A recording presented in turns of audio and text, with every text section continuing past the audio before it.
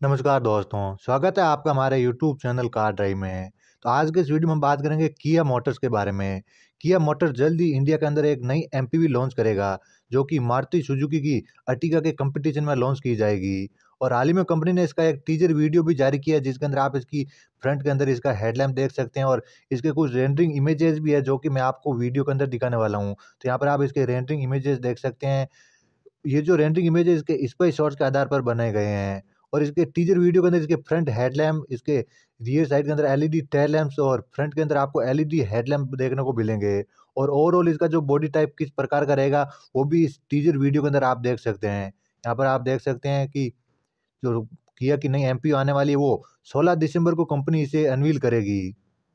यहाँ पर आप इसके कुछ रेंडरिंग इमेजेस देख सकते हैं, जो कि इसके स्पाई शॉट्स के आधार पर बनाई गई है फोटोशॉप करके। तो देख सकते हैं, काफ़ी हद तक इसका जो लुक है, वो कुछ इस प्रकार का हो सकता है। और कंपनी ने इसके लिए कैरेंस नाम भी ट्रेडमार्क करवाया, यानी कि नी जो किया कि नई एमपीवी आने वाली, उसका नाम कैरेंस हो सकता है।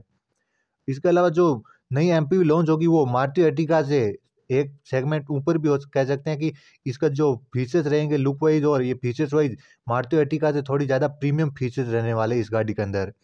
और इसके अलावा ये जो एमपीवी है, वो इंडिया के अंदर पेट्रोल और डीजल दोनों इंजन ऑप्शन के साथ लॉन्च की जाएगी। और इसके अंदर आप देख सकते हैं कि डायमंड कट अलॉय व्हील्स इस गाड़ी के अंदर ऑफ़र किए जाएँगे।